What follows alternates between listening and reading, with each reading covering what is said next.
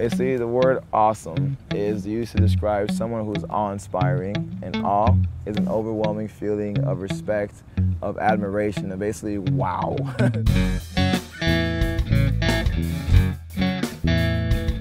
It's Kemy Joseph, and I am the president of a nonprofit called You Are Awesome Inc., which makes my name Mr. You Are Awesome.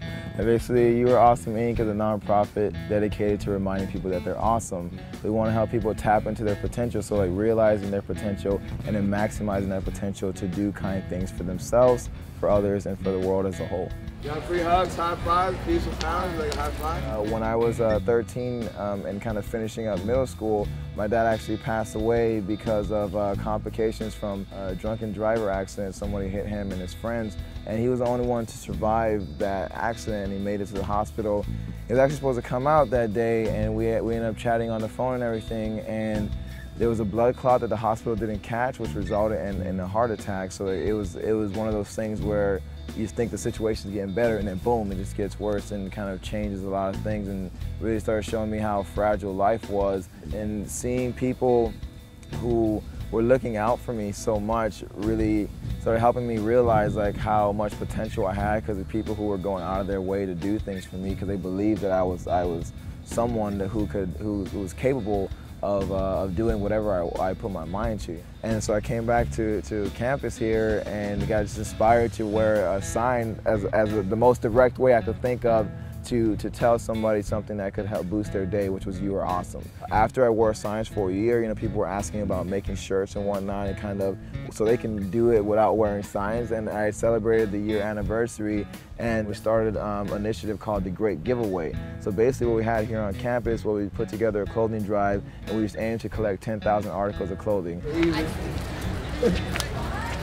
That's what's up. In terms of what we're doing today, this is just like a, an example of why you know I am who I am. You know, seeing kind of the reaction on campus, walking around with signs, giving out free hugs. It, it was my favorite thing to do. I mean, there are times where I'd go to class late just because I wanted to stay out a little longer and, and catch the whole class passing time. And it is definitely brings the UM culture together because you know you, you, share those experiences. You see a lot of people who are stopping and talking and making a lot of friends. And again, they're seeing that it's people just genuinely being nice and wanting to just brighten up their day.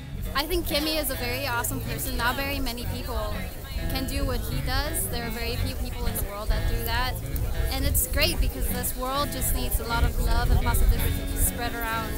Great that he can get a group of people who care about the community together to do the same. And hopefully this will spread to the United States and eventually the whole world will be filled with love. Yeah, this whole World Kindness Tour is me riding around on a 150cc scooter, uh, zigzagging through Miami, zigzagging through the United States, going into Canada, and going abroad, hopefully uh, taking the scooter there as well. Um, but basically the idea is to connect with individuals and, and uh, organizations to inspire kindness in their community and around the world. So that's what we're doing.